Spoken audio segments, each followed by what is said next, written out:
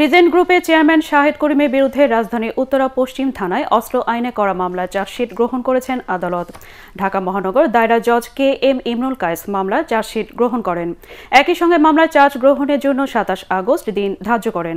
Report করছেন মাহমুদুর রহমান। উত্তরা পশ্চিম থানার অস্ত্র আইনের মামলায় বুধবার রিজেন্ট গ্রুপের চেয়ারম্যান শাহেদ করিমকে আদালতে হাজির করে গোয়েন্দা পুলিশ ডিবি। এর আগে তিরিশ জুলাই মামলার তদন্তকারী কর্মকর্তা আদালতে অস্ত্র মামলার চার্জশিট দাখিল করেন। ঢাকা মহানগর দায়রা আদালতের বিচারক চার্জশিট আমলে নিয়ে সাতাশ আগস্ট অভিযোগ গঠনের দিন ঠিক করেন। ওই দিন আসামির উপস্থিতিতে অভিযোগ গঠনের শুনানি হওয়ার কথা রয়েছে বলে জানিয়েছে অতিরিক্ত পাবলিক প্রসিকিউটর তাপস কুমার পাল।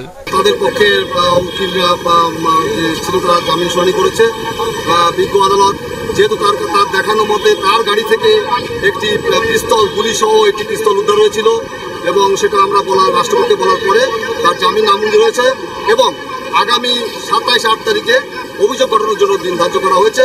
আমরা আশা করছি যে খুব অল্প সময়ের মধ্যে আমরা এই মামলাটি একটি সমাধানে আসতে পারব।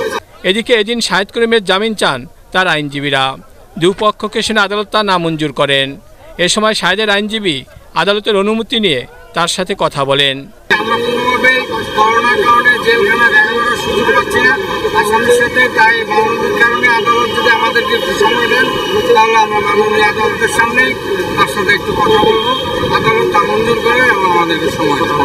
এর আগে মামলা দুজন সাক্ষী আদালতে স্বীকারোক্তিমূলক জবানবন্দি দেয়।